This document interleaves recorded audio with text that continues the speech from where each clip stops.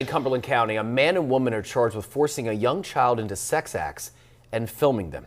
Police say Morgan Rothenhoefer engaged in sex acts with an eight-year-old while Jamie Souders encouraged them and filmed it. According to investigators, it happened in Souders' home in Middlesex Township. Both Souders and Rothenhoefer face child rape, child pornography, and corruption of minors charges.